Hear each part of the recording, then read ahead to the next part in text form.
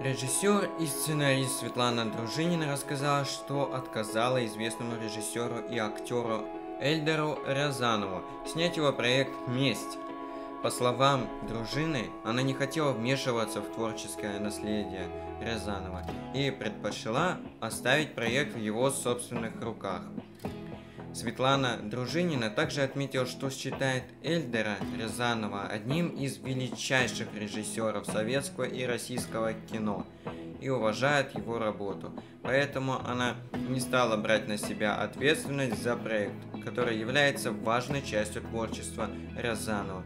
Несмотря на отказ, Светлана Дружинина выразила надежду на то, что проект под названием «Месть» будет реализован в будущем и покажет всю гениальность и талант Эльдера Рязанова. Спасибо за внимание. До свидания.